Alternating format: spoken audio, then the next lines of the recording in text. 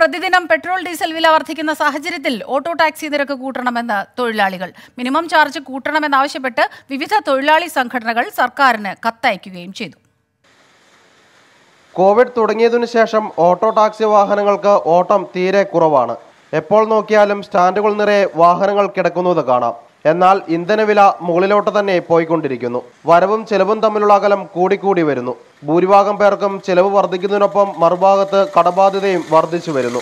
നിരക്ക് കൂട്ടുകയല്ലാതെ വഴികളില്ലെന്ന് തൊഴിലാളികൾ പറയുന്നു. ഇന്ന് ഒരു ട്രിപ്പ് കിട്ടിയിട്ട് പോവുകയാണെങ്കിൽ പെട്രോൾ പമ്പ് കയറി കഴിഞ്ഞാൽ യാതൊരു ഒരു നൂറ് രൂപ പോലും ബാക്കിയാകാത്ത രൂപത്തിലാണ് ഇന്നത്തെ ഞങ്ങളെ ഈ അവസ്ഥ.